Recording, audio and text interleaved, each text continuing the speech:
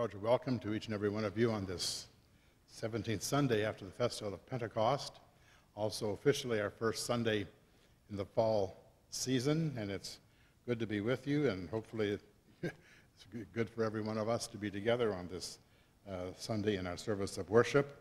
Our announcements are that uh, on this new Bible study that we're going to be having uh, is going to be, interestingly enough, the very same uh, uh, title of my sermon today, which was not planned in advance, and that is, What Do You Think?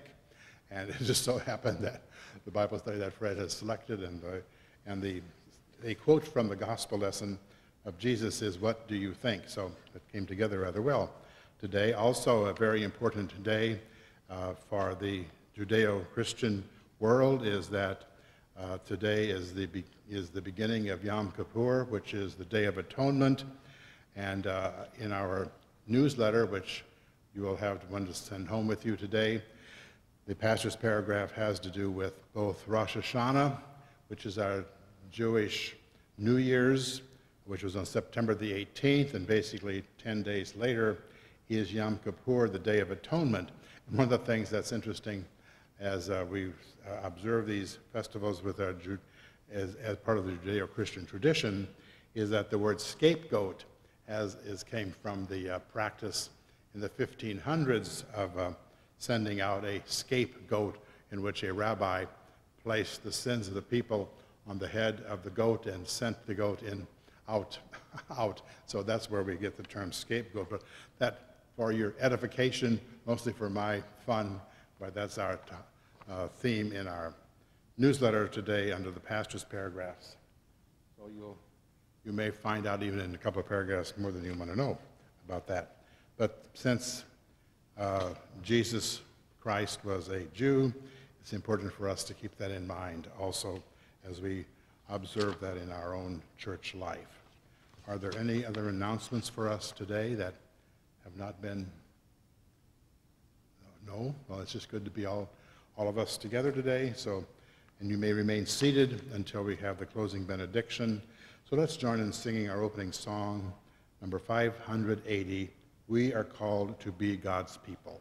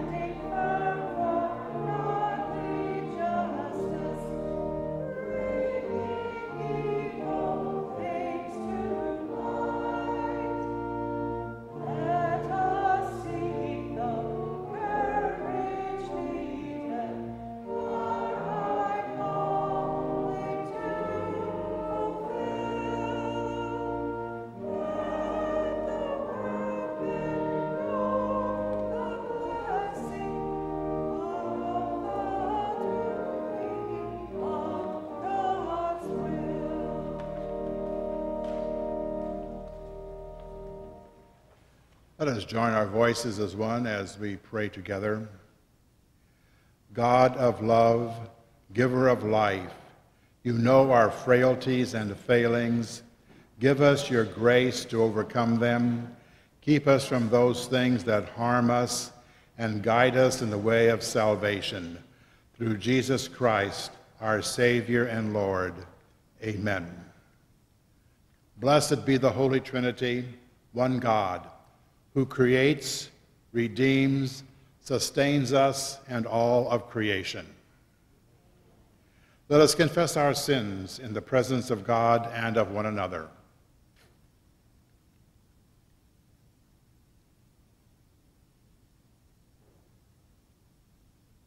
Faithful God, have mercy on us.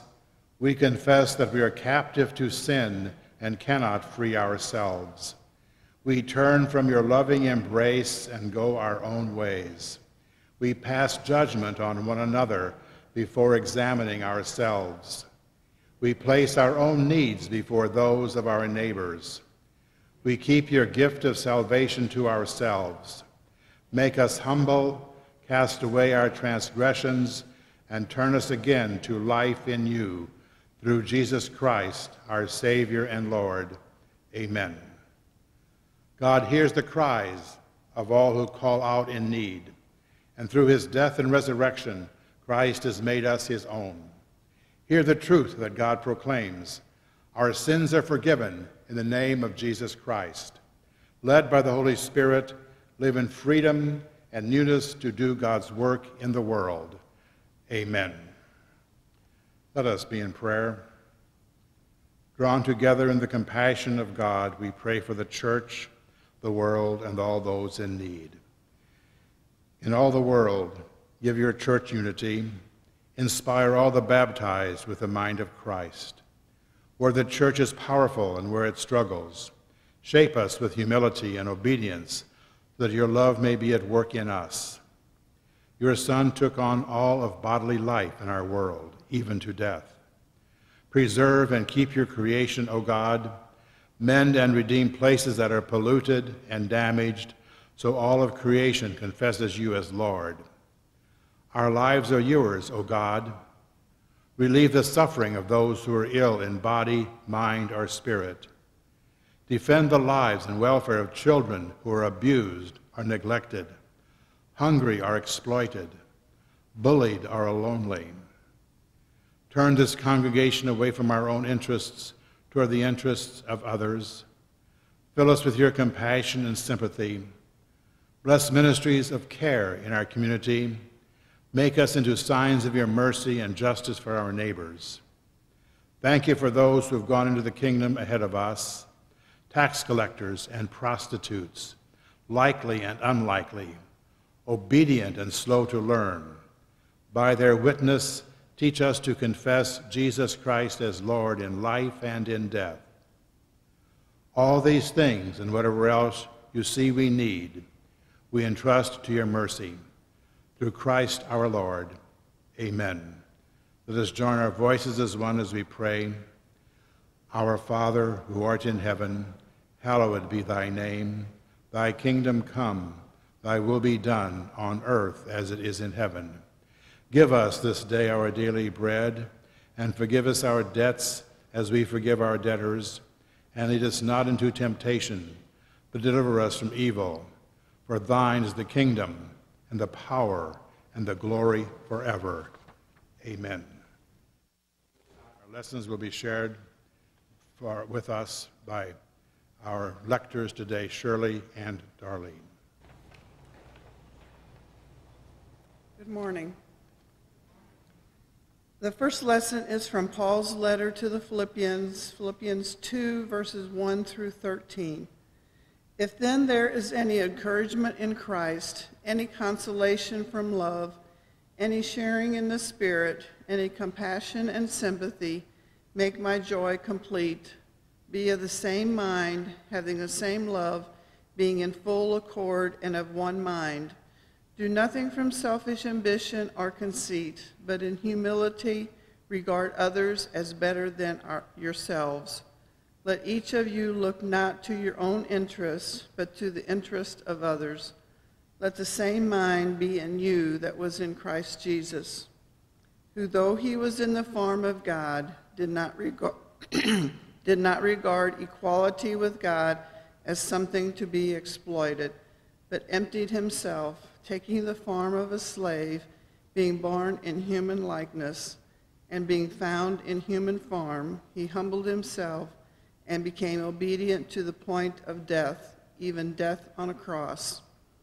Therefore, God also highly exalted him and gave him the name that is above every name, so that at the name of Jesus every knee should bend in heaven and on earth and under the earth, and every tongue should confess that Jesus Christ is Lord, to the glory of God the Father. Therefore, my beloved, just as you just as you have always obeyed me, not only in my presence, but much more now in my absence. Work out your own salvation with fear and trembling, for it is God who is at work in you, enabling you both to will and to work for his good pleasure. The psalm today is Psalm 78, verses 1 through 4 and 12 through 16. The refrain is Give ear, O my people, to my teaching, hear the words of my mouth. Give ear, O my people, to my teaching, incline your ears to the words of my mouth. I will open my mouth in a parable, I will utter dark sayings from of old things that we have heard and known, that our ancestors have told us. Give ear, O my people, to my teaching Hear the words of my mouth. We will not hide them from their children. We will tell to the coming generation the glorious deeds of the Lord and his might and the wonders that he has done. Give ear, O my people, to my teaching. Hear the words of my mouth. In the sight of their ancestors, he worked marvels in the land of Egypt, in the fields of Zoan. He divided the sea and let them pass through it, and made the waters stand like a heap.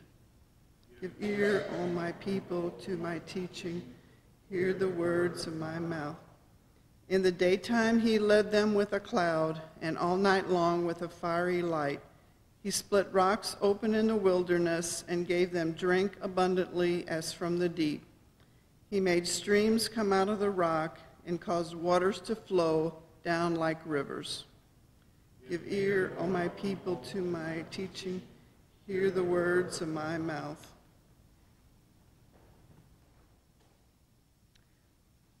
The reading from the Holy Gospel of St. Matthew, Matthew 21, 23 through 32. When he entered the temple, the chief priests and the elders of the people came to him as he was teaching and said, By what authority are you doing these things, and who gave you this authority? Jesus said to them, I will also ask you one question. If you tell me the answer, then I will also tell you by what authority I do these things. Did the baptism of John come from heaven, or was it of human origin? And they argued with one another. If we say from heaven, he will say to us, Why then did you not believe him? But if we say of human origin, we are afraid of the crowd for all regard John as a prophet. So they answered Jesus, We do not know. And he said to them, Neither will I tell you by what authority I am doing these things. What do you think? A man had two sons. He went to the first and said, Son, go and work in the vineyard today. He answered, I will not. But later he changed his mind and went. The father went to the second and said the same. And he answered, I go, sir. But he did not go. Which of the two did the will of his father? They said, The first. Jesus said to them, Truly I tell you, the tax collectors and the prostitutes are going into the kingdom of God ahead of you. For John came to you in the way of righteousness, and you did not believe him. But the tax collectors and prostitutes believed him. And even after you saw it, you did not change your mind and believe him. the word of the Lord. Thanks be to God.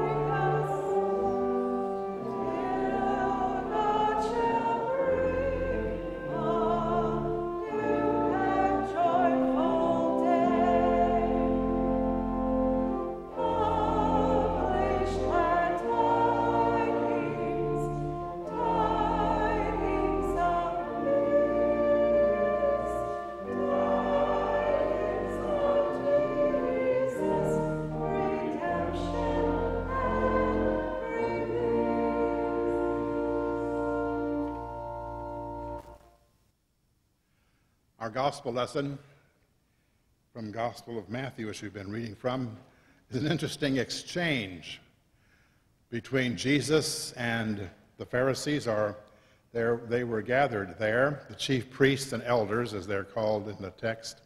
And uh, it says that they came to Jesus while he was teaching. So here was Jesus in the temple precincts teaching, and the authorities of the temple came to Jesus because, of course, they were questioning him, so they had a bit of an exchange. The Pharisee said, By what authority are you here, Jesus, teaching? Well, Jesus uh, went back and uh, said, um, I got a question for you. That's always, you know, kind of the way of a teacher. I have a question for you. If you tell me the answer, then I'll also tell you by what authority. So you have to tell me an answer, and I will tell you the answer. So it goes until finally we get to that question a few words of what do you think? And there we have the beginning of what I am going to be speaking about today. After this rather, I would suppose, contentious exchange between the rabbi named Jesus, who was very, very popular, and the uh, temple authorities. And Jesus was right there in the temple. What do you think? Is the question. Very easy words in this gospel lesson.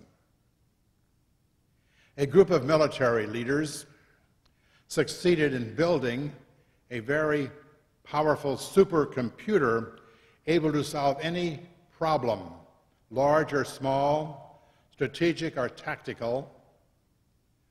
These military leaders assembled in front of the new machine for a demonstration. The engineer conducting the demonstration instructed the, uh, these officers to feed a difficult tactical problem into the computer. They proceeded to describe a hypothetical situation to the computer and then asked the pivotal question attack or retreat. This enormous supercomputer hummed away for about an hour and then printed out a one word answer yes. Well, the generals looked at each other, stupefied. Finally, one of them submits a second request to the computer Yes, what? Instantly, the computer responds, Yes, sir. yes, sir. The chief priests and elders, Pharisees like, were like those generals. They were accustomed to people saying, Yes, sir. So when they come into this temple with Jesus there, why they find that they have an authority problem because people are not saying, Yes, sir, to those Pharisees. They were the religious authorities, used to being treated like generals, I suppose, but there was a new teacher in town. There was a new rabbi. He was threatening. They feared his popularity, his ability to heal, his good preaching capacities, and he was drawing and leading people away from religious traditions they were afraid. They were afraid of that, that defined the Jews. So they set out to expose Jesus as a fraud. It was in this context Jesus asks the question, What do you think? He went to the first and said, Is a story he went about a man who had two sons. The man went to the first and said, Son, go and work today in the vineyard. The boy immediately said, No. Later he changed his mind and went.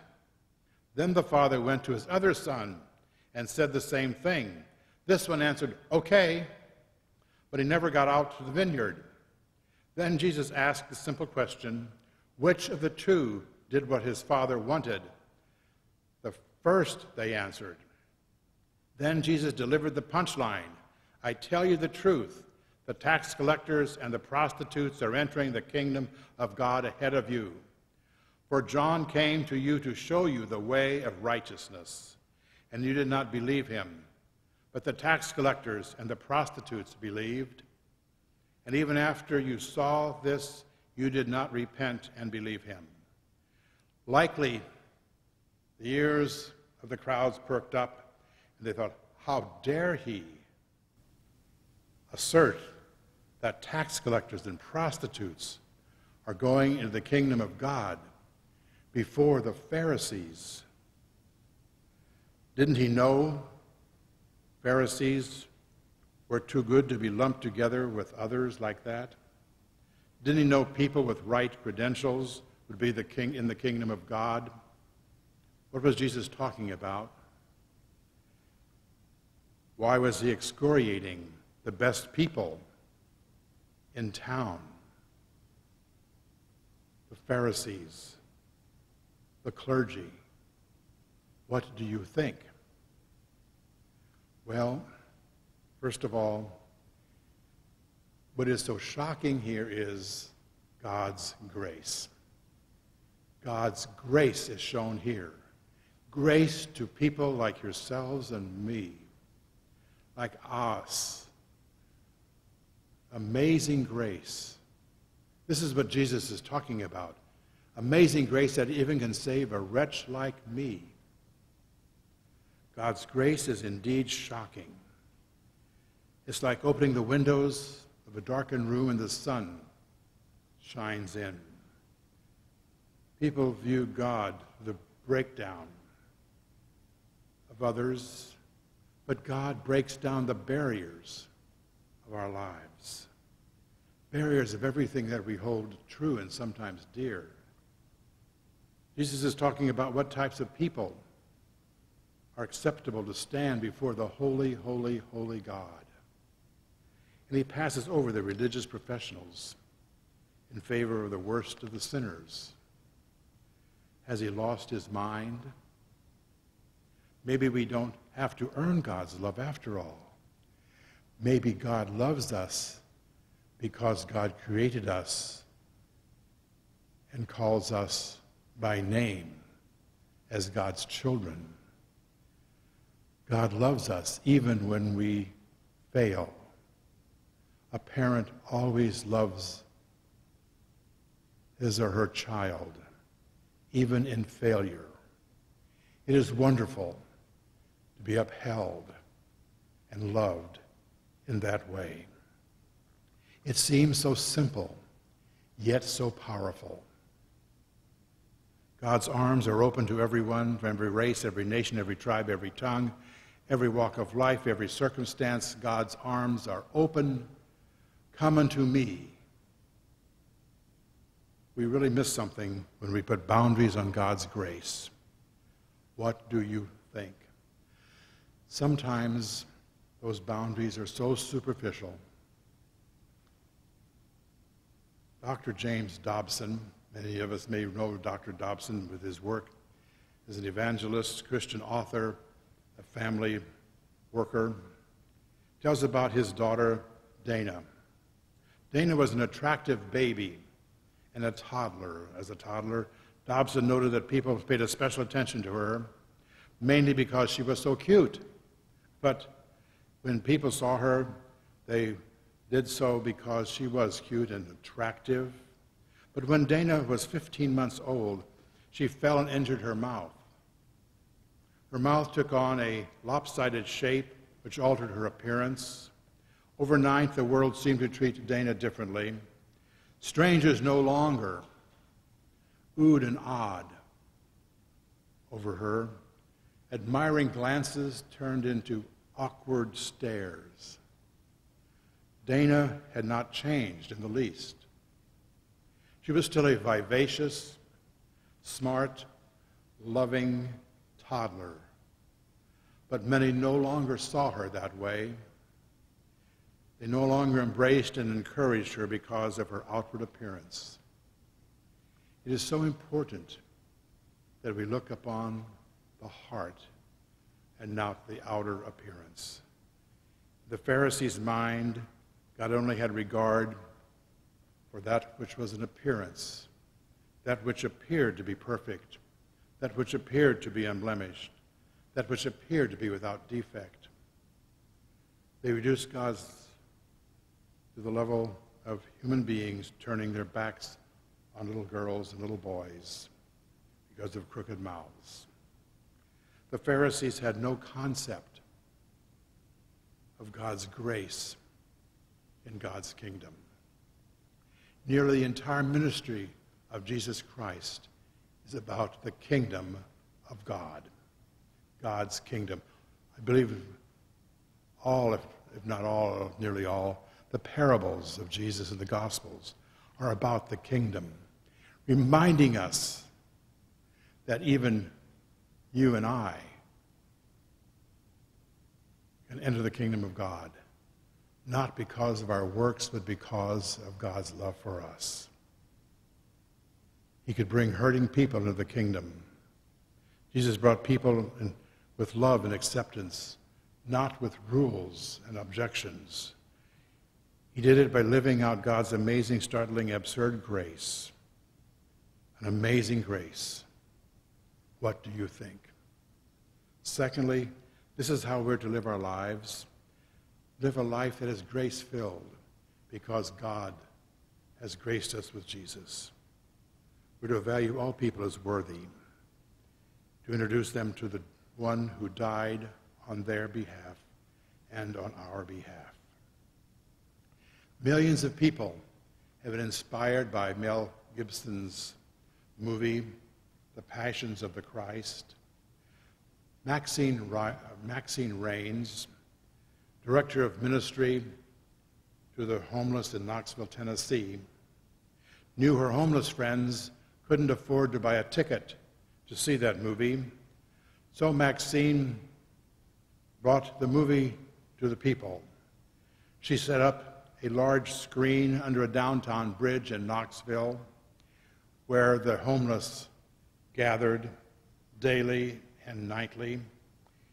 And there was a group of some 400 homeless people there to see the movie by Mel Gibson. The film was shown to those street people. Many were moved to tears. They were amazed. Dozens prayed to receive Christ as their personal Savior.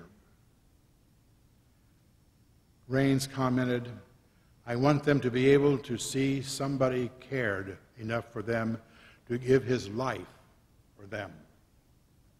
They tell me they are hopeless, that no one can help them. And I say to them, I know the one who can. That one who can is Jesus the Christ, who is suffering on the cross took upon himself our own shortcomings. Nobody is hopeless. Nobody is lost. Maxine Rains took the kingdom of God the people of God. And thirdly, no one is excluded from the kingdom of God, not even Pharisees.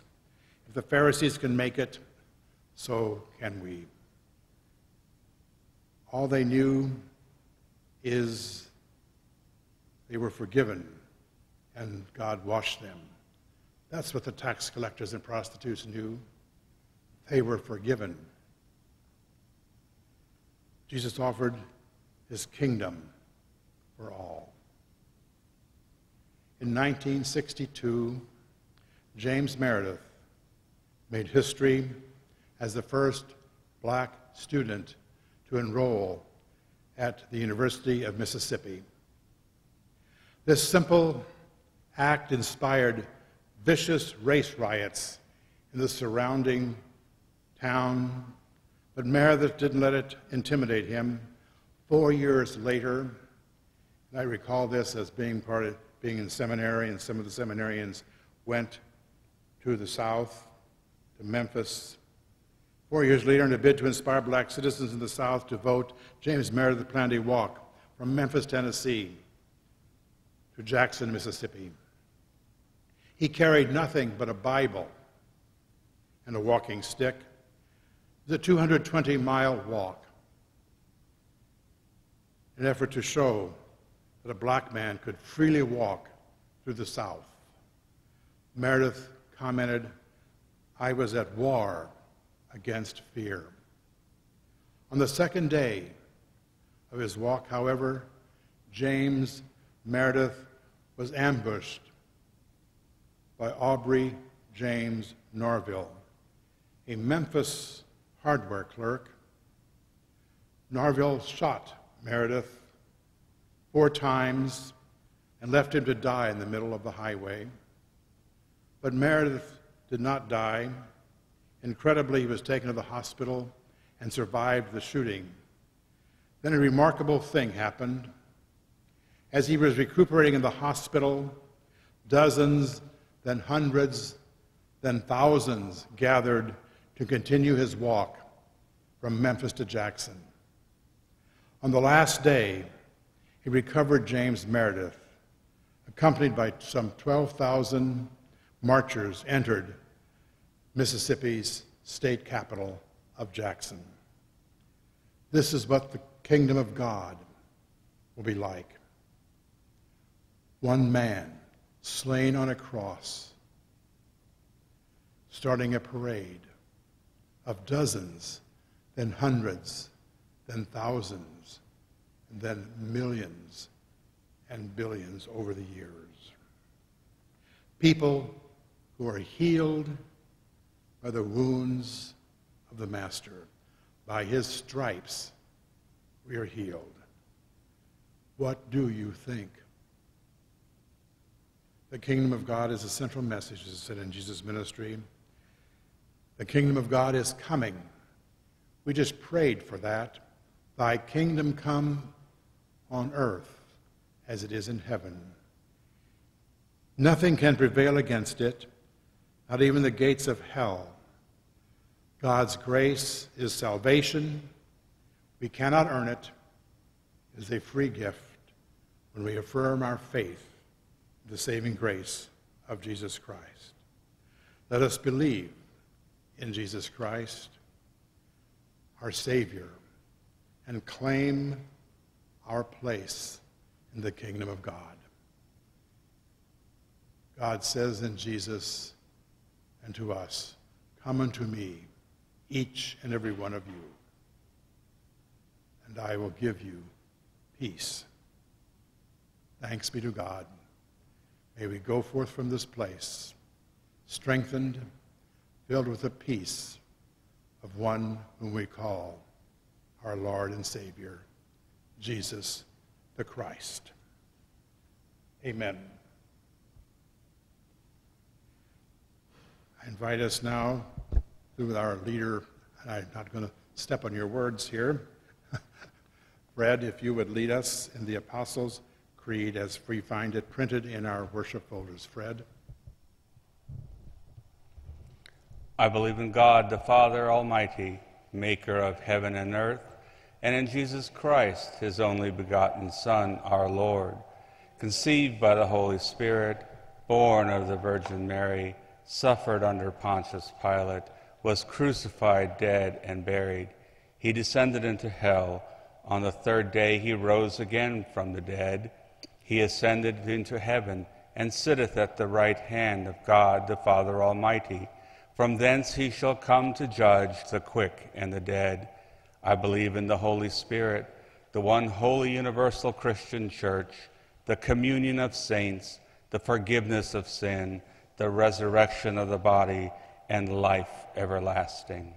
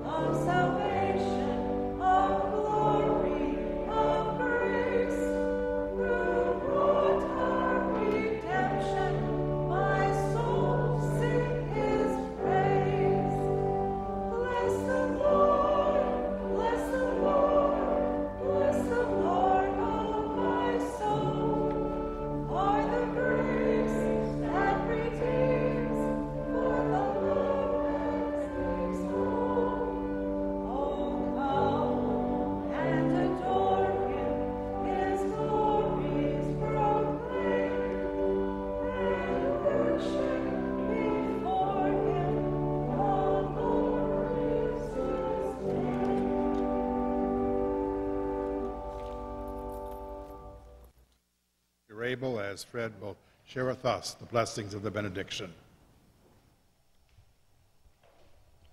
The Lord bless you and keep you. The Lord make his face to shine upon you and be gracious to you. The Lord lift up his countenance upon you and give you peace. Amen. We are reminded also of our offering each week. This is very significant in the life of the congregation and the larger church, and uh, they're offering baskets at the entrance as we leave, or I guess at the exit. The entrance becomes an exit as we leave. So uh, they are there as a reminder to us of the work of the Lord and Savior Jesus Christ. So let's go forth today and have a wonderful and beautiful and safe week, and see you next week. Depart in the name of the Father, and of the Son, and of the Holy Spirit. Amen. Have greatness.